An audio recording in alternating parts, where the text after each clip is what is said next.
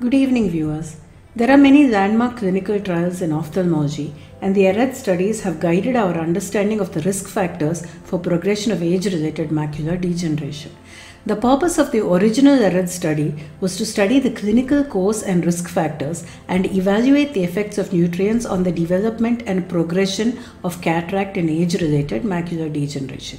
It was conducted by the National Eye Institute of the US National Institutes of Health, Bethesda, Maryland.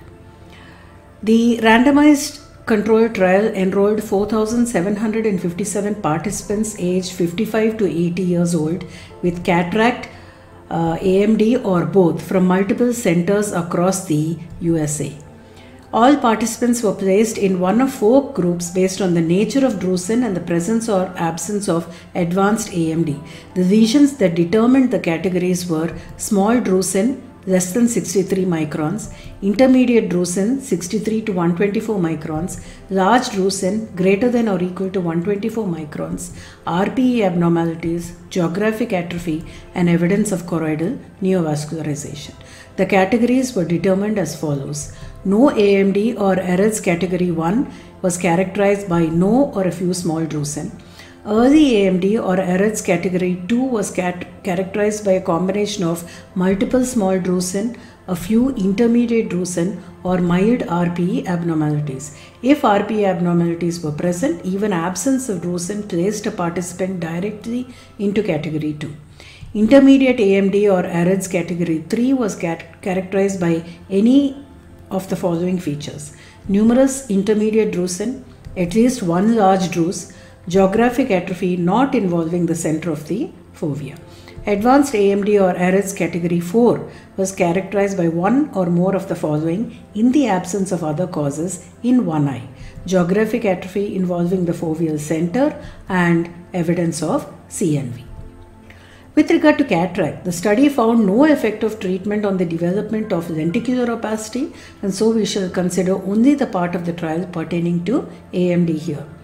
Category 1 participants were considered very low risk for AMD, and so it felt uh, it was not necessary to expose them to high zinc doses. Hence, they are not included in the analysis of AMD progression, and only data from the 3,640 participants in categories 2, 3, and 4 were considered for the AMD trial.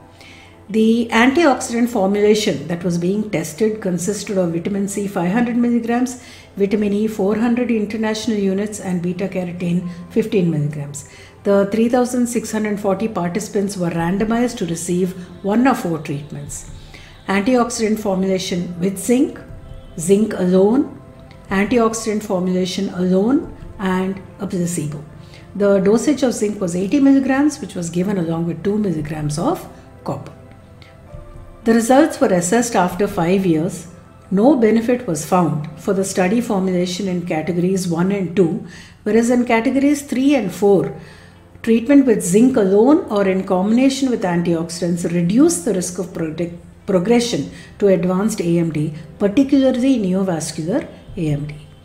The benefit of risk reduction was much more for the combination of antioxidants with zinc with a 25% reduction of risk to progression to advanced AMD. However, a statistically significant reduction of moderate vision loss occurred only in persons assigned to the combination of antioxidants with zinc.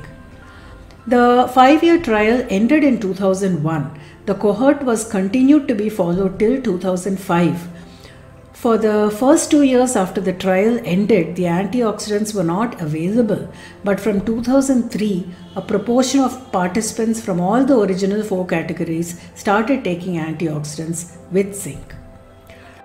Those in categories 3 and 4 originally assigned to the antioxidant plus zinc groups continued to benefit by the 10th year and only 34% of those participants progressed to advanced AMD compared to 44% of the original placebo group.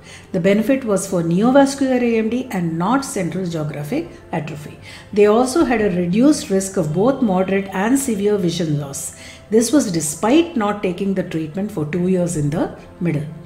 The 10 year follow up data also provided information on the risk factors that influence these rates of progression. Increasing age is associated with neovascular AMD and central geographic atrophy. Female sex and current smoking increase the risk of progression to neovascular AMD.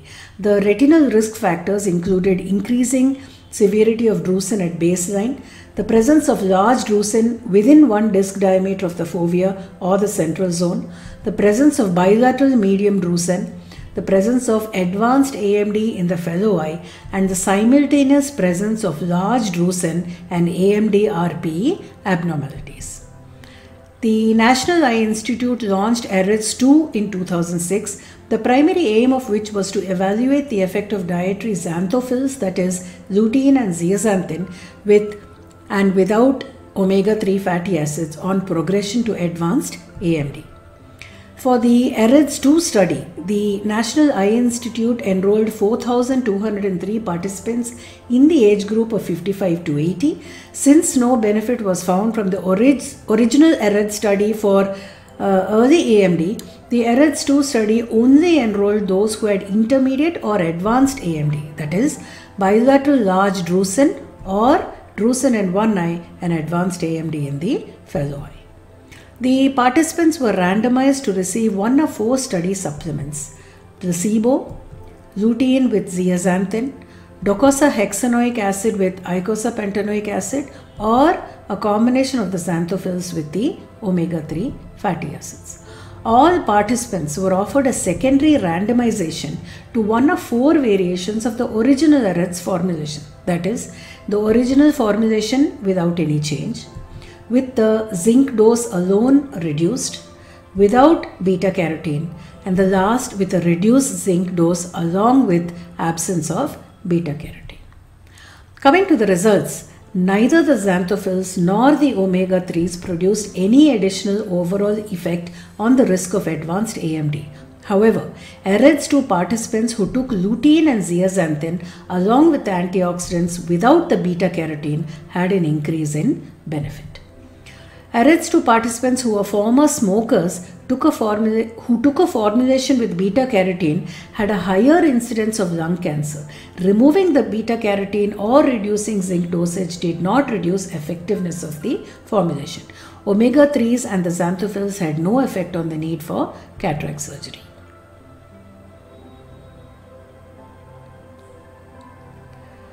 Supplements with the AREDS 2 formula decreases the risk for progression to advanced AMD and moderate to severe vision loss in persons of the AREDS categories 3 and 4. Thank you for watching and have a nice day.